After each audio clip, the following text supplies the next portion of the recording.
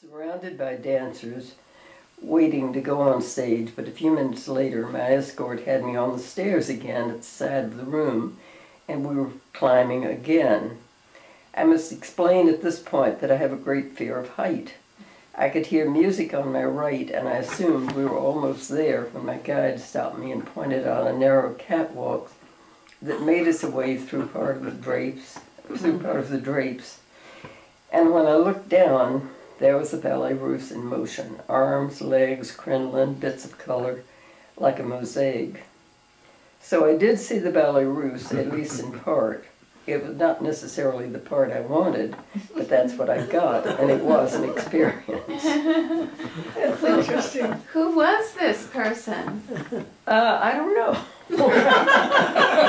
Well, I, thought, I thought it might have been Vincent. No, no, no. We never. Yeah, I think he came once to see me and wanted to see my legs. So I, I, I sort of discouraged him a little bit. so eh, he was an older man too, Oh, okay. older than me. Yeah. Well, So- how did he have access to? I never knew that either. But I assumed he had some, you know, obviously he knew what he was doing. Yes, I yes. don't know what he was doing. What a little mystery story. really? Yeah. Well, I, Well, Older, gen- older gentlemen and young dancers are a cliche in ballet. You know, he, he may well, have been. that's true. Well, I see what you mean. The legs and all He obviously was pick, he picked you up, right? So Can I tell you a story about ballet?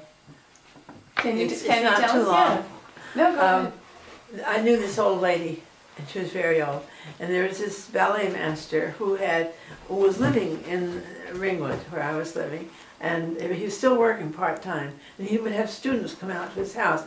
He had a house right across the road from this old lady's. She could look down on it because it was a hill. She could look down on his house, and all of a sudden she she did see these young girls go in there quite frequently and stayed quite a long time. And she had her own ideas about this ballet master, whose name was Alex something. Anyway, um, she finally noticed he was putting up this building, and it was like a block. A, a, it, it added on to his house, but it was just a, a rectangle with a cement top or something. I don't know. It was awfully ugly, and she had to look down on that when she wanted to look at the lake beyond, right? So she was enemies with this man because she thought he was uh, he was uh, mentally, um, morally, you know. Reprehensible. Yeah. depraved. Yes. Yeah. And so, uh, but she didn't very often speak to him. But she decided she had to ask him what this was. so she said, "Mr. Dolnoff, what is that thing you're building?" Well, Mrs. Brown, he said, it's a whorehouse for over, over 80s.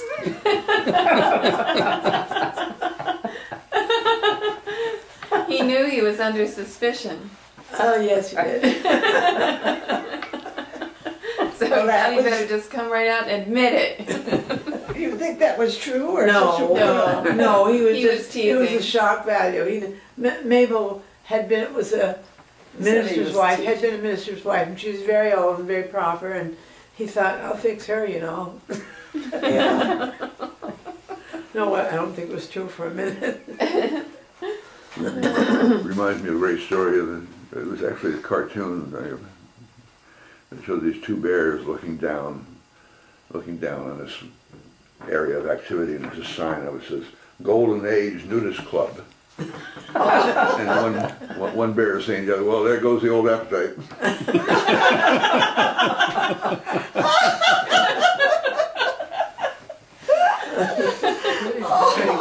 wish I'd made that cartoon.